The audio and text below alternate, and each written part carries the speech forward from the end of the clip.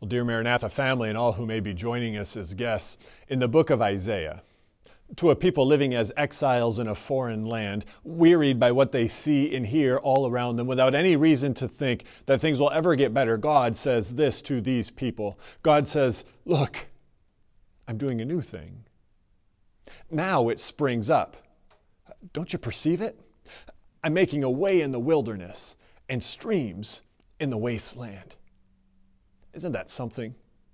There's a saying, after all, that goes like this the more things change, the more things say the same. It's a newer saying, but it's basically just a riff off what we hear the teacher saying in the book of Ecclesiastes. There we hear the teacher say this there is nothing new under the sun. Translation We've been there, we've done that, and we're going to do it all again later.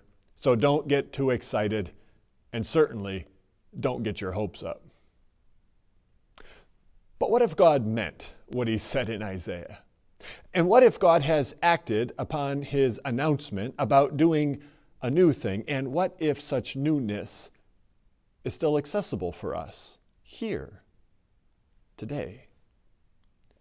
Well, wonder of wonders, that's why we have gathered here today. We've gathered because of our conviction that something new has indeed burst among us in this world, in the midst of the tired, ordinary sameness of life.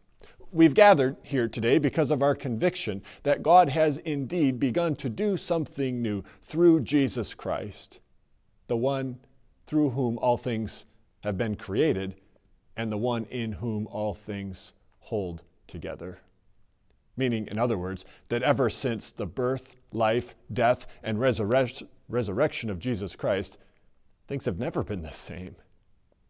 For God has begun to do his new thing. Of course, it's easy for us to miss this. We live by faith in the midst of a world that insists on living by sight and insists on rehearsing tired old storylines. So God gathers us today for worship, so that we might listen for His voice, and that we might strain to see with clarity again what it means for us to participate in the newness that God has ushered in and is bringing about through Jesus Christ. So it's good for us to be together today to worship. Welcome to this service. And because it's God who gathers us, I invite you to receive God's greeting.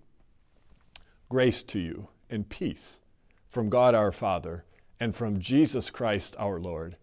Amen.